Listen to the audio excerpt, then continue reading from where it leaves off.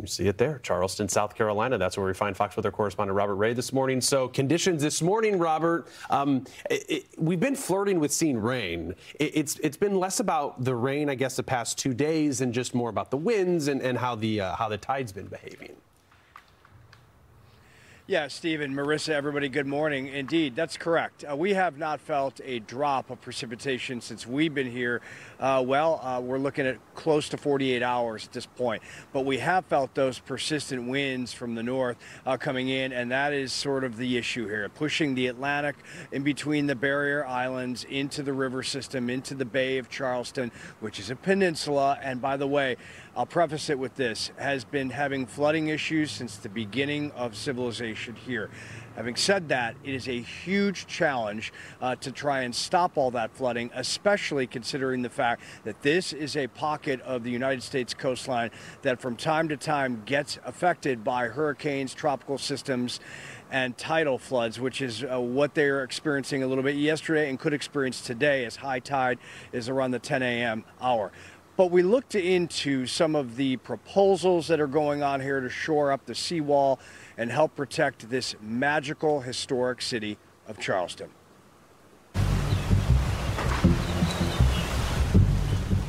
Up and down the Atlantic coast, storm surge, pushed in from hurricanes and seas on the rise are major challenges, especially for the historic towns with significant international ports like Savannah, Georgia. Well, this port is the third largest port in the nation, and that's only behind New York and LA, so, so that says a lot.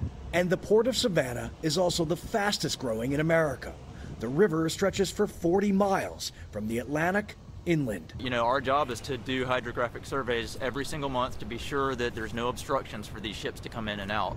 According to researchers, Savannah could see a foot of sea level rise by 2045 and a significant increase in tidal flood events to more than 100 annually. And when we're hit by a big storm, you know, there's some risk for that. And so the biggest challenge for us is to get out as quickly and as efficiently as possible. A two hour drive to the north, Charleston, South Carolina. Very historic place. This is where the Civil War started uh, back in the day. Behind me is the harbor. That harbor has been there since the back to the 1600s when they first established Charlestown. But with that, they have a there, there's a high risk to coastal storms, specifically inundation. Proposed is a concrete fortress meant to keep the city from drowning in a hurricane. Among the highest ranking projects for the Army Corps of Engineers, an eight mile seawall stretching around Charleston's peninsula. The estimated cost around $1.1 billion. And if we go back and look at the, the, Charleston Harbor tide gates, tide charts, the sea level rise has increased by a foot over the past 100 years. And that's, that's known data that we have that we used in our analysis. And from the, and then we projected out 50 more years and we projected another foot and a half in 50 years. So we took that the historic sea level rise and the future sea level rise into account in our analysis. Though many people here, including elected officials, don't think the project is viable. And this project puts a lot of time, a lot of money, and a lot of resource towards storm surge to the exclusion of rising tides, rising seas, increased storm water coming out of the sky and issues that we've got with groundwater management. So I think it needs to be more integrated.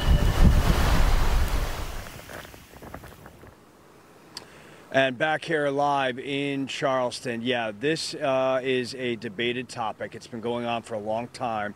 Uh, there is shoring up of the seawall uh, already, uh, but the larger picture is more well, how do you say it? Complicated. Uh, there's a lot of money being discussed, there's a lot of opinions, but everybody could agree here uh, that there needs to be a solution. It's a very, I don't want to call it similar, uh, but maybe on the same line of discussion as New Orleans, right? Uh, surrounded by water, uh, a city that needs to be protected, a port city, a place that is historic in America, and a region that is affected by not only uh, hurricanes, tropical storms, but also these tidal issues that, you know, what, what we're going through today. So we're going to monitor uh, the roadways today. I don't anticipate anything major. We're under that coastal advisory threat uh, throughout until noon. Uh, and uh, that's a minor threat at this point, but you just don't know. You don't mess with water. Uh, just like uh, you know, you don't mess with a bad guy in an alley, right? Yeah. That's the same concept. That's, that's you true.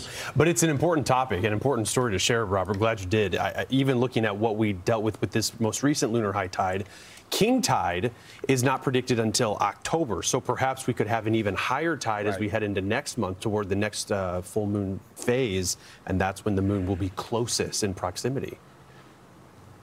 And Stephen, let's hope uh, at that point, and we may see, we may see the Atlantic awaken, and hopefully that doesn't time up together, right? Yeah. Because if it does, well, that's a disaster. One, one thing to pay attention to. All right, Fox Weather correspondent Robert Ray for us in Charles. Robert, appreciate it.